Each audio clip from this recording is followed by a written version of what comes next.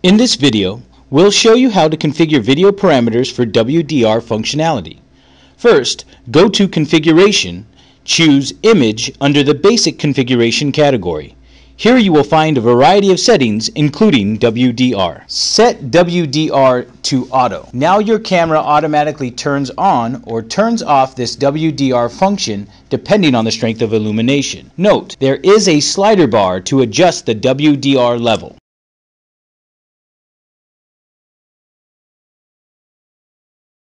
Wide dynamic level is a key element in the camera's WDR setting. A higher wide dynamic level makes the subject easier to be distinguished.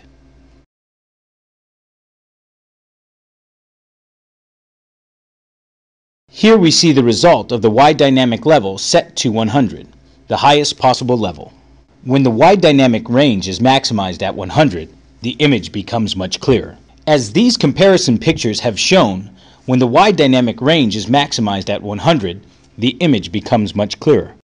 When we set WDR to enable, the function is turned on no matter what particular lighting condition.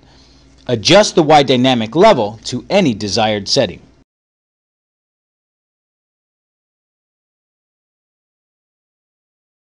Now set WDR to disable. Note how the objects in strong backlight environments become darker and obscure.